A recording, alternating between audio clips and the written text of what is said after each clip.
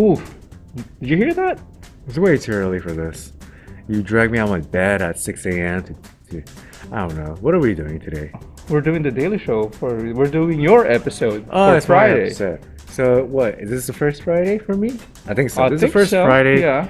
of May 2021, and let's start. Let's not Do you change your time. wallpaper? Yeah, I change it every month. Okay. Yeah. Cool. So May 7. Let's see what happened on this day. Today's observance, the first observance is National Tourism Day. Yay. What is it to be a tourist? Uh, it's like the joy of uh, welcoming new experience in a new place, right? Uh, no, a tourist is a person who travels, not for stay, but for vacation. no, vacation. I know what I'm saying. It's like Uh, you spend about a week or a, a month, if ever. So let's say this: when you go traveling to a different place, right? What would be your like ideal amount of time to stay? I'll there? say a month. a month. Yeah, because it's not enough for you to learn. A month lot is a things. lot, to be honest. No, I, well, again, to For each me- our own, right? Yeah, for me, I think like one and a half week Okay. is good enough because like the half of the week, right, is you account for the travel and readjusting, and the full week you get to spend the sightseeing. And the thing is, I don't think you can really capture the entire place that you're traveling in a month. No, yeah, well, that's true, but at the same time, you would have more understanding, especially on uh, places with rich culture in it. So you know? here, here's the little thing though. This uh, this is where I disagree with you is because if you stay for too long, like a month, right? You get burned out real quick. True, If it's like- especially if money's a problem or a, a concern. Yes, a month is way too much, and money too. And I feel like a week and a half, right? Uh, uh, okay, so I was thinking, uh, dep- depends on the style of your traveling. If Right. you want to travel one place in a long time and then you save up again and then travel to another place, then yeah. Right, right, right. But if you're if you plan on going weekly, I would assume that you might want to travel to different places continuously. right, right, right. Yeah, so I guess that works. I'm well, but as for me, I would prefer. I mean, because like, I feel like if I let's say I travel to a specific place, Japan, Mm-hmm. for a week, I don't think I could feel everything I wanted to do there. But the thing is, you can still go back. Well, yeah, but I mean, And since you're there, that's, that's if you spend a short time in that place that you really like, right?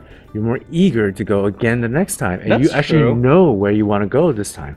that's true. However, you spend a month, right? You spend a month. Sometimes the last two, three weeks, right? You don't know what you want to do left, and you're just Oh, sitting no, in your no, hotel, and you just get burned out. No, no, no. Well, that's not true because if your style is uh, of traveling is that Right, much, right, then you right. have to plan it for a month. You can't just like plan it for a week. That's true. you know but of course it's going to be harder it will take longer because you you're planning everything for a month that's more days than a week and a half or two weeks Right, right. so you kind of double it you know it's like you try to go to different places as much as you can for a month Alright. It's like like you said, to each his own, right? that's true So yeah. for you, right? What is your uh, top of the list place to travel right now? i just said it japan i wanted to experience uh, authenticity of their food uh, you know their technology uh, Technology is the same as ours. what's on about What what what technology that they have is different than us? oh there's a lot of technology that came from japan Yeah, but know. I mean, I mean, like, what's like so different that you need? Oh, to uh, uh, robotic waiters. we have that in America already. We don't. Yeah, we do. Where where is that? It's called those uh, little kiosks at the McDonald's. You press your Yeah, but they, they don't have the interaction you that Japan has. Like They're asking for interaction from a robot. Yeah, He's asking for interaction from a robot. You get interaction guys- from humans. Did you guys, well, did you guys see the video? uh, I'm sorry, I'm a little cranky because it's so early and I didn't have a coffee. sorry, Jared. no, no, no. But it's pretty cool. yeah, yeah, know. it's true. Uh, I think it, Oh, uh, cherry blossoms. I know we have it Oh. here, but I think it's still different if you experience it over there. But again, it's just me. no, no, no. They're not called cherry blossom. They're called sakura. Okay. Yes. So, anyways, I think so. The best time for you, you want to travel during like the springtime.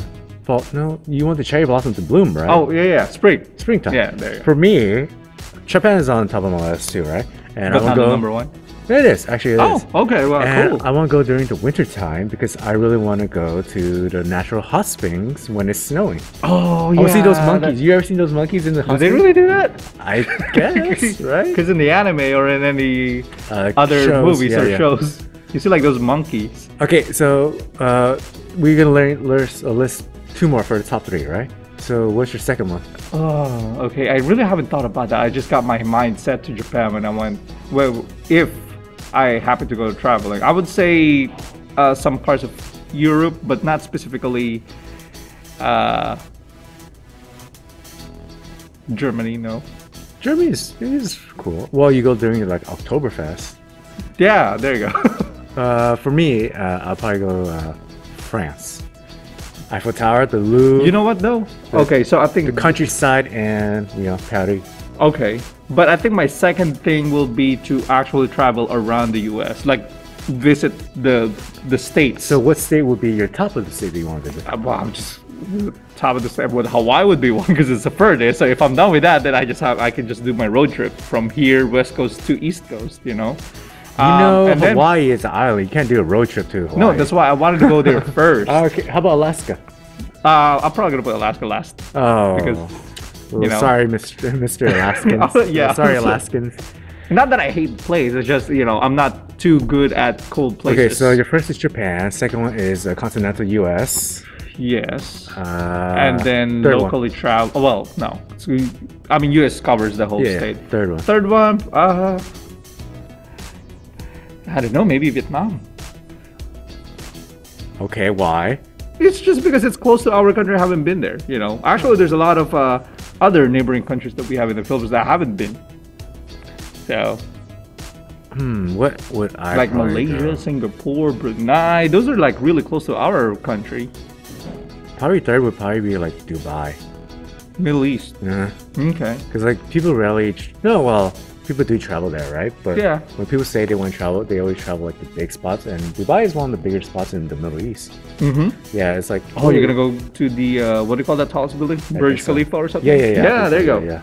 So there's uh, being a tourist, right? Also, the one thing that etiquette is a tourist, right, is be mindful of your environment and leave, uh, leave as you come.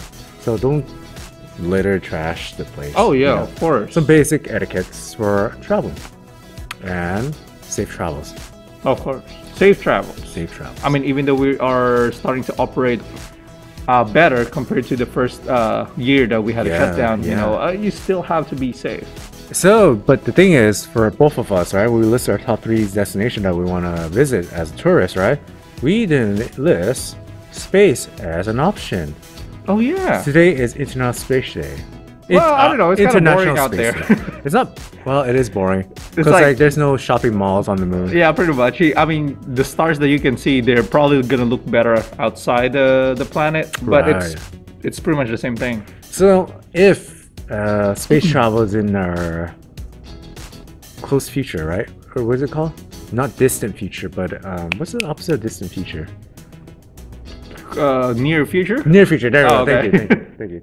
In a near future, in oh my gosh, it's so early.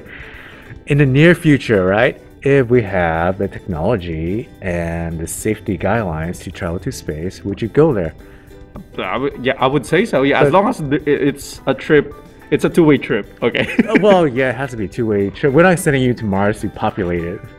you don't have the genes for it. remember? Just kidding. Remember the movie? What do you call that? Uh, Mars. Was it Mars with uh, Matt Damon. Ma- Matt Damon. Yeah, yeah. I don't think you know how to grow potatoes, yeah. so, for now, you know how we know major we know like uh, a good amount of information about our solar system, the Milky Way, right? And at the moment, there's no life forms and stuff like that, right?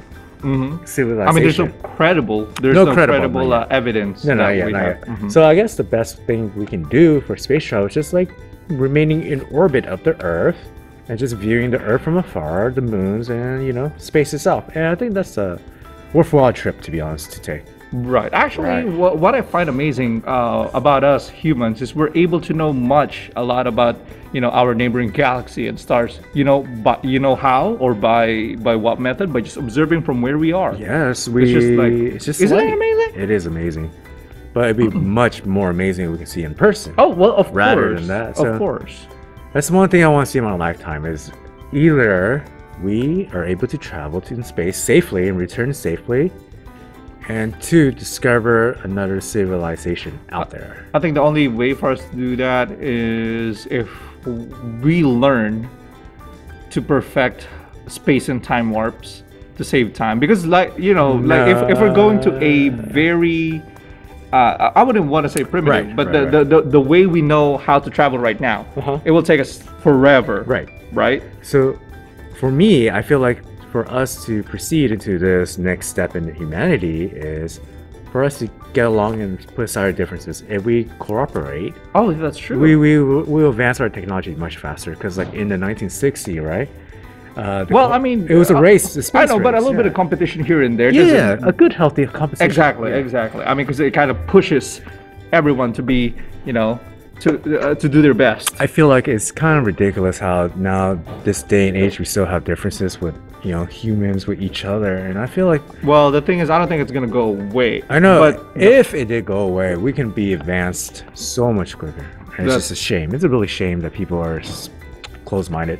Well, on the other part Right. is that whenever uh, a country needs help, you know, uh, a lot of countries are willing to help out. Oh yeah, So absolutely, absolutely. When it comes to natural, you know, battling against natural disaster, uh, uh, what do you call this? Like uh, global situation, Mm-hmm. you know, we end up helping each other anyway. So but I feel like there's there's there's like- more, there's room for more. No, no, no. uh, I, uh, I mean, there's, there's more like what do you call it? There's some hidden prodigies out there in the world that we just need to, you know, help these countries get them to a standard pace of living, and these individuals are gifted Mm-hmm. can have a proper education and help us advance in technology and stuff. Because at the end of the day, it's going to be for the humankind's benefit, you know. So what's better than traveling to space, a national tourism day, international space day, and Traveling we have still? What? a good dinner? And what better dinner to oh, have Oh than roast lamb, roast leg of lamb to be exact. When was the last time you tried Me? a roast leg of lamb? I didn't try roast leg of lamb, but I had lamb recently. That's cool. Mediterranean food. It was pretty pretty good. Um, what else more to say? Look how delicious is it. Mm-hmm. It's just a leg of lamb. Well, it's definitely not as common here. No, no, no. It's it's more like uh, what you call it, like something you find in a restaurant. You can't like go to like a your local Yeah. market and grab and do it at home. You find more like the specialty uh, butcher shop. Some more. I won't say for lamb. You probably get it more from the Middle Eastern supermarkets. Okay. Yeah, For, for those who haven't tried them, uh, would you be able to describe the flavor uh, I tr- or at least the taste? Does it It's taste really like chicken? tender. Does it taste like beef, or does it taste something different? I don't know. My taste is really bad, Oh, okay. but uh, I know my taste is really bad. I'm gonna say because I, I did try it. I'm gonna say that it has this distinct, uh, uh, not really flavor. Because when you say flavor, you're also counting, putting into account the seasoning and the stuff, right? Uh, I guess taste. Taste, uh, It has this- texture. the- the texture this- is much more tender than Like you can uh, tell, beef. it's not chicken and it's No, absolutely, beef. you can tell different. I think it's more lighter and sweeter inside. Mhm. Something like that, kind of like porkish, pork chicken. I don't know. When I when I ate my lamb, it wasn't roast lamb though. Oh, how, was just- how was it cooked? Uh, I think it was grilled, and it kind of Okay. like it kind of looked like the same texture as a steak. Yeah, yeah, okay. Yeah, yeah. But it was pretty good. I like it. It wasn't heavy as when eating steak or beef, right? Mm-hmm. It's much lighter, and when I bite into it, it was much more tender. Oh, But now it's uh, grilled. This is roast. Roasting, I like roasting because I like roasting too. I like roasted chicken. You know. it gives you that little crispy Yes, uh, the, the one. surface. Yeah, and then when you take a bite, it's soft inside. I mean, Right, right. it's like the perfect uh, combination of texture, soft and, and then you have some kind of a sauce, maybe maybe a specialty sauce for Yeah. that place. You know. Yeah, remember like what you call it when you roast uh, turkey, right? You have that cranberry sauce and gravy and all that Mm. stuff. Mm. Oh, so good. All right, it's too early. Joe hasn't gotten his coffee, and now he's talking about food. That's not good. That's a bad recipe. so you guys can try some roast leg of lamb, Mm-hmm. right? But like I said, I wouldn't know. The person who would probably know is Ian, right? Yes. Yeah, he, he, he want to find a place to sell a good roast of lamb. You should ask him. All right, moving on to today in history, we have in 1946, Ooh, Tokyo Telecommunication Engineering, later renamed as Sony, is founded. So when you go to Japan, you probably want to visit uh, Sony headquarters, right?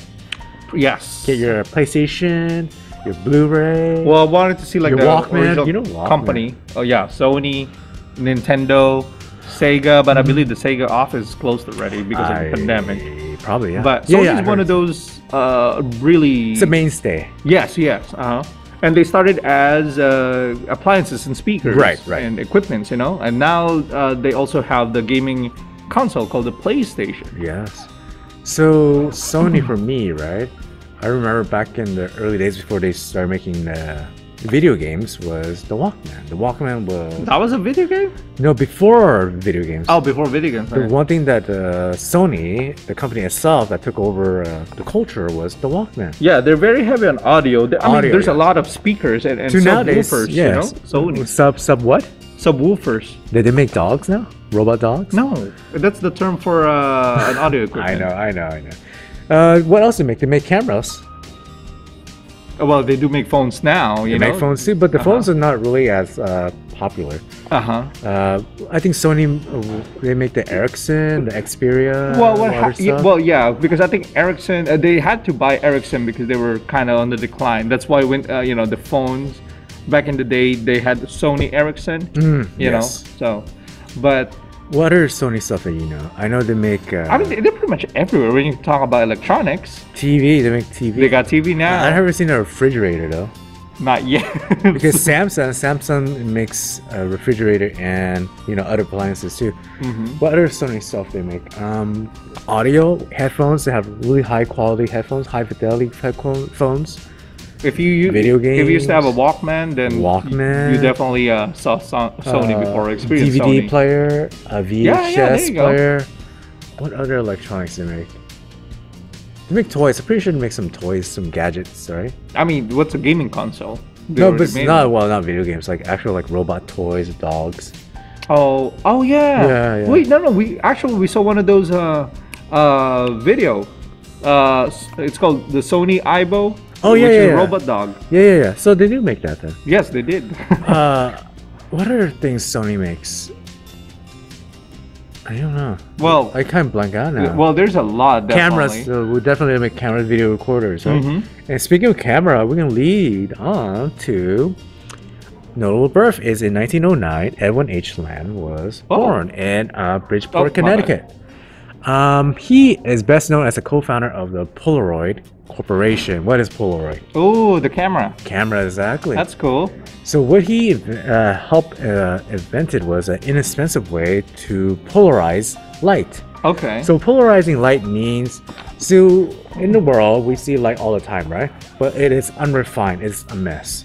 So polarizing these light, right? You're basically filtering it and collecting the light that you want for a clear picture. so filtering the ones that you don't like, Yes, exactly. and then getting the ones that you like right. to have a better image.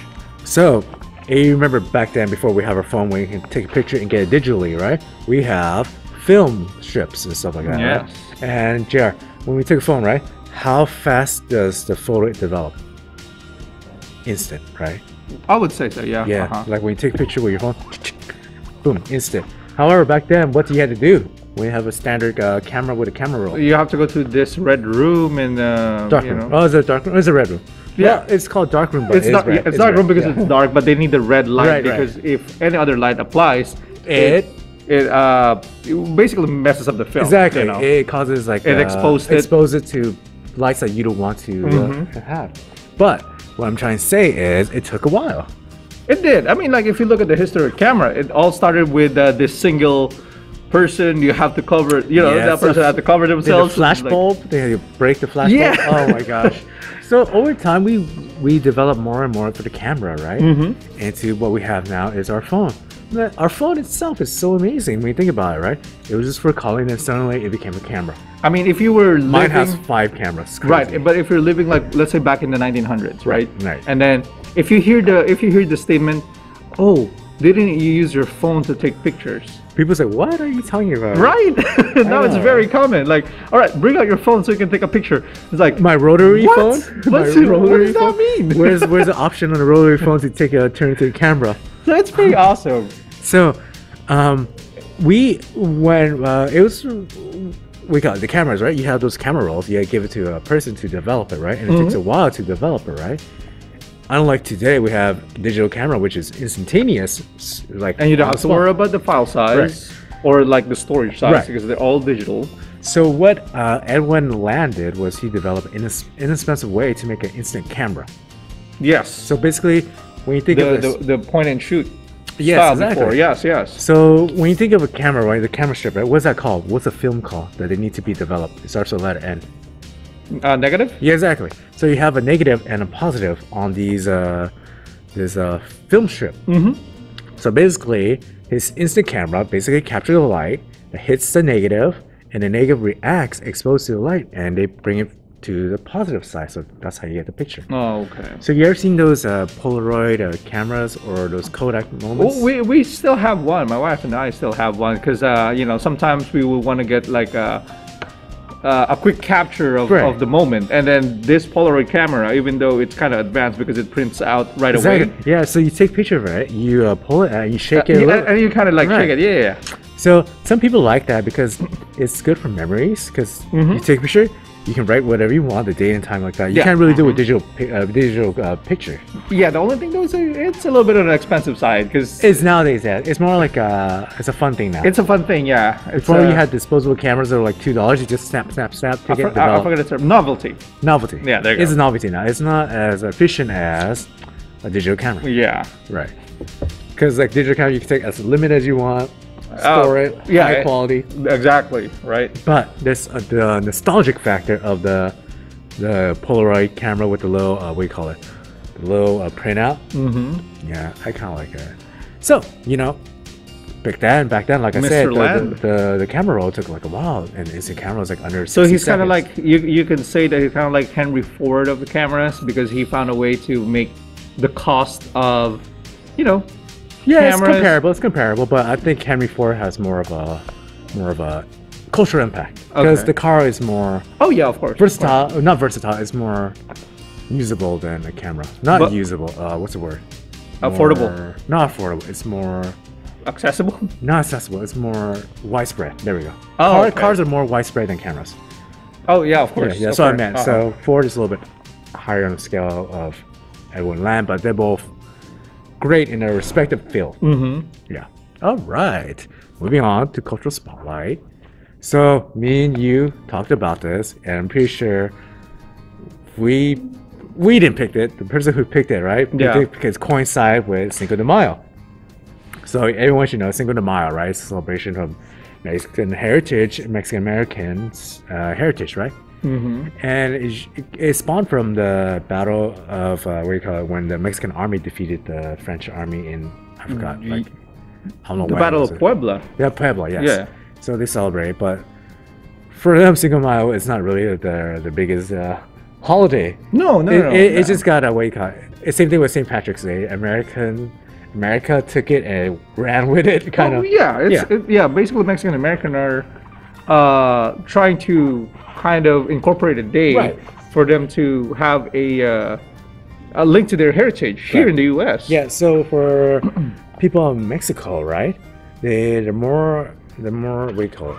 It's more of the Revolution Day that's more important than Cinco de Mayo. Mm-hmm. And another day that uh, the Mexicans celebrate is the Day of the Dead. Yeah. Very important. They dress up. They remember the the people who uh, passed on and stuff like that, right?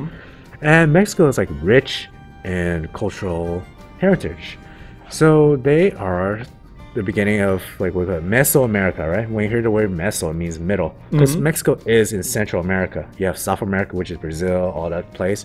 You have North America, which is Canada, and us, United States. and they're, they're right dab in the middle, Mesoamerica, like Mesopotamia, in the middle. So they have ancient civilization. We see over here, right? They all have temples, shrines, stuff like that. Ba- Back They got the- pyramids too. yeah, pyramids too.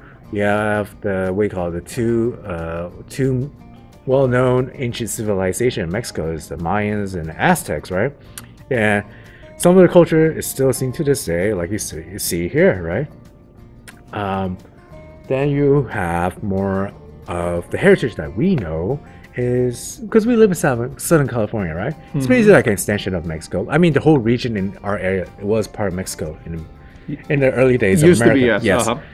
So for me and you, right, we live in Southern California. We are inundated, inundated, and like exposed to a lot of Mexican heritage culture, right? Mhm. Their food is delicious, right? Tacos, burritos, horchata. I can list so much more, but Jared told me not to list food so early in the morning. But besides that, right? The culture itself is, even though we've seen it a lot, right? It's still more to explore. Yes. Yeah, and I what can I say? What I can I say? I love their food. Oh yes. and the music uh-huh. too. The music you can hear like almost. I mean, every Saturday morning I hear it when they, you know. Actually, yeah, well, actually, for me, and actually, Yes. I, I'm sure Ian too. Uh, the the uh, one another way for you to learn uh, someone's culture or uh, country's culture is through their food too. Absolutely. because uh, their food is heavily connected to what they do Right. in life. Like, let's say, why are a lot of Asian countries uh, have rice as staple? You know, of course, And one would be let me tell you something too. Because of the what do you call it? The the, the rice is a staple, right? Mhm. What Mexico given us as the world, right, is chili peppers. chili pepper. Right, chili peppers. So Mexico, right? Like I was gonna repeat what I was said earlier was chili peppers, right? It's seen everywhere around Red the world. hot. I, I always thought like chili pepper was uh, native to Asia, right? Because my country we use a lot of chili peppers, right? Mm-hmm. But I learned that actually, chili peppers, right, was native to Mexico, and uh, Portuguese explorer traders came and took it and spread it around the world, mm-hmm. and that's how we got chili peppers around the world. And if you are very, very keen of what I just said, it'll, it'll help you find out what the s- theme of the stuff is for this week. So Spicy. close. Oh, okay, never mind. So first we do is animal of the day, and animal of the day is the tree shrew. Tree shrew. So I then- choose you.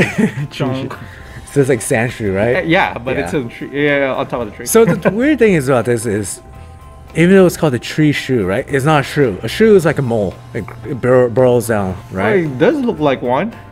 It does. bit, it does, yeah. but Uh, not like you know, genetically, you know. Okay. And not all tree shrew live in the tree. Oh. Weird. So these guys are known to be. But they do live by. Uh, I mean, for like they do live by the trees. Yeah, yeah, they live by the trees. Ma- majority Close. of them. Ma- majority of them. Yeah, yes. okay. So they live in the tropical forests of Southeast Asia, right? Okay. That's like you know, I mean, Philippines, is one. Vietnam, Yeah. Cambodia, Laos, the tropical jungles, right? And what's unique about these guys is they're one of the only animals, mammals actually, that likes to eat pepper. Okay. Because pepper, So we have a competition now. yeah, it's because pepper, right? It has this chemical inside that causes pain, right? You know, Mm-hmm. pe- eating hot stuff causes pain, right? Most mammals avoid it, except for these guys, so it's really weird. So they have a gene in their body that lets them tolerate the heat and they can eat it. Okay. So birds don't have this the, the pain gene that we have, right? As humans and other mammals, right? So birds can eat peppers like no problem. But mammals like us and tree shrew, right? Well, not the tree shrew, because they can't eat the peppers without any pain. Just mild pain or whatever, right? So like humans, dogs, other mammals, uh, bears, they probably eat the peppers and they avoid it because it's too much pain. Yeah. So these guys are really cool in a way where they can seek out spicy food and eat them. Normally, because like plants itself, right? They create Which is good because they don't have a lot of competition except Exactly. for us humans. Exactly, right? You know? So they would never go hungry because there's no other mammals that would eat the pepper. like, they eat hey, it. why do you guys eat this? This is pretty good. Right. So these guys, pretty cool. One of the only mammals that actually pretty eat- cool for eating something pretty hot. Yeah. There we go. So this is one mammal that eats uh, hot pepper, right? Do you know what the other uh, mammal that eat hot pepper is? Well, you did say bird. Oh wait, did you say mammal? Yeah. Nah, I'm not sure. Us. Oh, okay. Yes. we are mammals who eat hot peppers. I mean, we, we- actually seek out hot peppers. We seek out. Well, maybe you guys, not me. Oh yeah, you don't like spicy food, huh? I'm not a fan of it. Yeah. No. But you know, there's, I can tolerate at least uh, that much. you know those there's those uh, people who like seek out the hottest pepper, like those ghost peppers. Oh my gosh! Eat it. Yes. Uh huh. Oh man. So let me tell you something about uh, the peppers too, right? You know, you shouldn't be drinking water because water actually spread the chemical that makes you hurt. Uh, yes. So you drink milk. You have to drink something with dairy. Yeah, something that's uh, not water, basically. So the tree shrew. So plan of the day, we are gonna talk about the chili pepper. I knew it. I well, knew you it. did mention it. Yeah. So. So it is native to Mexico, like I said. And after the you know the Portuguese trader came and spread around the world, right? we have it all around the world. Mm-hmm. Uh, some people use this uh, for food, where that's the most obvious, uh, not obvious, the more uh, common, Common, usage. common use right? of it. Uh-huh. Some people use medicine. really? Yeah. So you can use it as medicine. Some people use uh, weight loss too. It, it's- Okay. it suppresses your appetite because like you're eating so much hot, and you don't want to eat anymore. And then you're probably just gonna drink water by default, even though you're not supposed Right, to. So right. Well, yeah, you shouldn't be drinking. Or should be drinking dairy because you know it's oily. You want to wash away water and oil doesn't mix, so that's why they water don't. Yeah, work. they don't. Yeah. And it's used as medicine as a a appetite suppressant because you're not gonna eat more. And it also have this uh, antimicrobial, so it, it really harms bacteria, so which is good. So people usually said, eat too much chili pepper, right? It'll burn a hole in your stomach and causes ulcer, right? Ugh, yeah. Well, it's really not true. What pepper actually help is prevent ulcer because the bacteria that causes bac- uh, ulcer in your stomach, right, will probably be uh, get kicked out because of the chili pepper, the chemical in the chili pepper. Right. But of course, it all comes down to the moderation too, because eating too much of it is not good Oh, either. absolutely. Your um, You can literally feel it in your throat, go into your stomach when you, you know, like and the end part of your digestion too. Yes, you, you feel it all throughout your body. so, not a pleasant uh, feeling. so you're not you're not a fan of chili peppers, no, jalapenos. uh, not really. No, uh, really? it, it my, the the way I eat them is more like conditional. Like let's say I'm uh, I'm having a fever or I'm, I have a cold, you know, and then I got a clogged nose. Oh, So- so, it opens up your. Uh, I, I put it in a soup, let's say a noodle soup, Okay, okay. and then I don't really eat them, but I make uh, that makes the soup spicy. And when I, uh, you know, s- take a sip of the soup, it just opens the the pores, uh, or probably opens my, my, my, you know, the the cloggedness in my nose. So this chili pepper It feels good. yeah, this chili pepper you probably seen before, right? Oh, the, yeah, yeah, of The one that we're used to is the more skinny one, the the one that used for like sriracha and stuff like that. Yes. Yeah, Uh-huh. or like uh, it's sliced up. You put in your fish sauce and whatever, right? Mm-hmm. Or soy sauce or whatever sauce you have. What other chili peppers are there's? You know, I've said it before: the Carolina Reaper, the Ghost Pepper. The ghost pepper. I, actually, Those I are heard. crazy hot. Yeah, actually, I heard before uh, someone tries a ghost pepper in a restaurant, they have to sign a waiver. Oh yeah, absolutely. It's just because that's that's how. Would you say dangerous? it's it it can It cause is. issues with breathing because it does Oh yeah, affect your uh-huh. throat. And So they had to sign a waiver. Imagine that. so it is it's not it's not something that you like you said like other mammals wouldn't want to seek it out. Why would you want to seek out pain? This seems ridiculous so i don't know. The nature is weird. Humans and tree shrew are really weird. They love pain. Moving on to art of the day we have street scene in montmartre in 1887 another vincent van gogh. Okay. right I'm trying. so you probably to check think, the connection. what is the connection? So what do you see here? You see uh, two I see a individual fence, couple. yeah. You see little kids, and you see that huge windmill, right? Yeah. That's the Peppermill windmill. Oh. Right. Okay. So this was part of a private uh, part of a private collection. It just recently got sold in um, I think March of 2021 this year. Mm-hmm. For I, I think the amount was around 13 or 15 million. What? So this was this this, is this is what awesome. what was unique about this was it was in a, a family's collection for a long time. So it finally reappeared and was sold in Sotheby's in uh, Paris, Paris, Paris. I keep saying Paris. Um, so this painting, right? Like I said, the features two couples, some kids, a fence in a in a village. There's a, a village, right? And you have the pepper mill Uh-huh. windmill. And moving on to the science fact of the day, we have capsaicin. Capsaicin. Capsaicin. So you have 18 carbons, 27 hydrogens, uh, one nitrogen. You see, the one nitrogen is what The color? blue one? Right. Uh, three oxygen, which is the red one, right? So when I was talking about the tree shrew, how they ate peppers, and the chemical that causes pain, and also the chili pepper, the main component of it is the chemical, right? And that's the chemical, capsaicin. Mm, that's the spicy That's the spicy part. part. Yeah. Okay.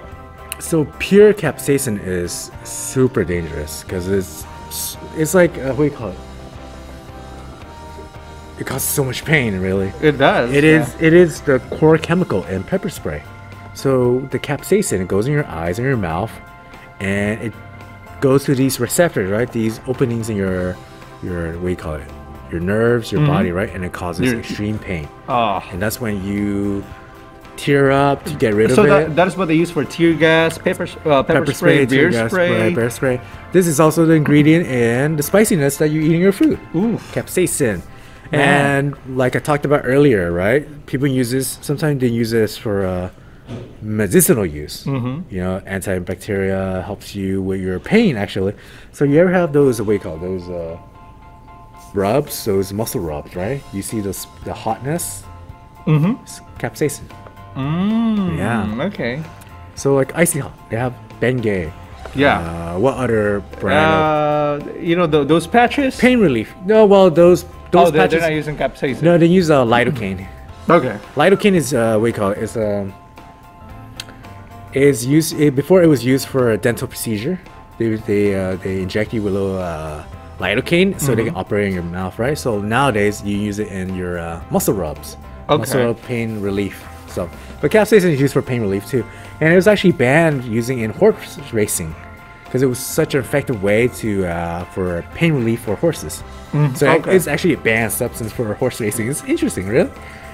That's cool. So, you probably understand what was the theme of this week, right? Something about spicy. Hmm. I would think so. Yeah, so the word of the day is pungent. Oh, okay. So, pungent is an adjective meaning having sharply strong taste or smell. Oh, Right. So, in pepper- this case, the spiciness of the pepper. exactly, when you have pepper, right? You need to taste it to know it's hot already. You can mm-hmm. just smell it, you know. Oh, okay, that's pepper. I, JR probably wouldn't want to eat it. I probably would eat it too, but I need a glass of milk. And, you know, pungent is just not to describe just hotness, right? You can describe it as something that's stinky, mm-hmm. something that's super bitter, something That- that's well, super sour. I would say I would say strong would be the def- the exact term yes, strong, right. because like it just kind of like punches you, punches your nose or your eyes, or or That's- your, your tongue. That's you know? really good though. That's a good description. like, like, if, if "Oh, it tastes a punchy, that?" right? that must have been pungent. Uh, Yeah, there you go. Hey, that's a good way. Yeah, that's thank you, Jared. That's a good way.